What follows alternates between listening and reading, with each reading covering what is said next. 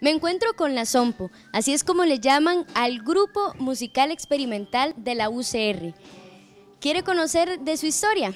Acompáñenos.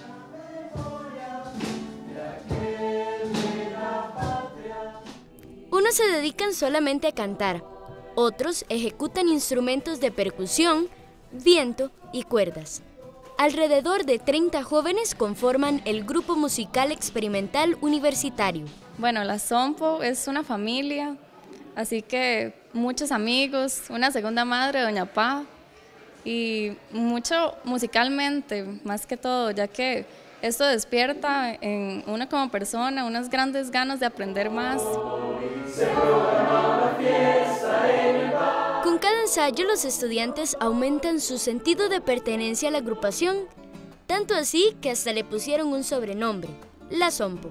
Y nosotros cada vez que vamos de concierto parecemos son popas porque todos cargamos, qué sé yo, una conga aquí y una guitarra acá y el, el, la marimba, ¿verdad? Y todas estas cosas. Entonces, bueno, para mí este trabajo grupal y esta escena como de hormigas es lo que hace que nos parezcamos a, o que nos digamos la Sompo, ¿verdad? El grupo experimental.